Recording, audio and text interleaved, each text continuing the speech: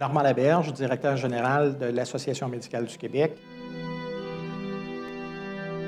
Le concept, c'est tenez-vous debout.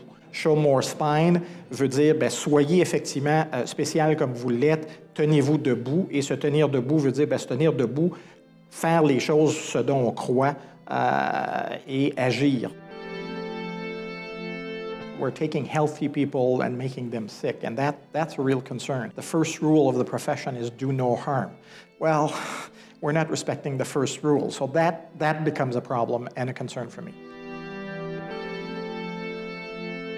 Healthcare costs around the world, not only in Quebec, but in Canada, in the US, all over the industrialized world, is taking up between 40 and 50% of the available cash of governments. So actually education, roads, infrastructure is suffering.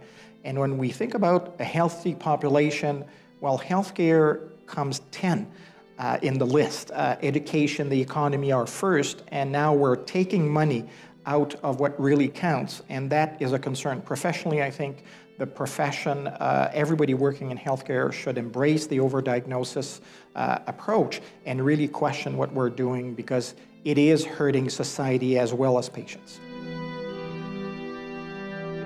So the first thing uh, uh is really to educate people of, about the phenomena, what it is, how it's defined, how, how is it measured, now I think we need to move to the other step, and uh, I guess the rubber needs to hit the road. Uh, knowledge transfer needs to occur, and to that, uh, we need to go and see clinicians.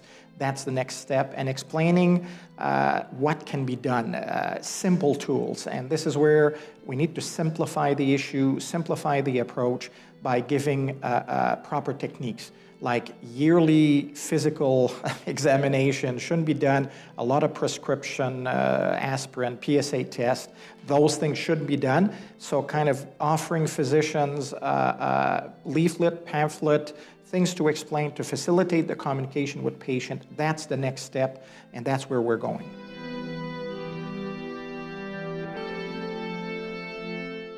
Je pense que ce qu'on veut faire à Québec, euh, c'est une conférence qui va être différente des conférences précédentes.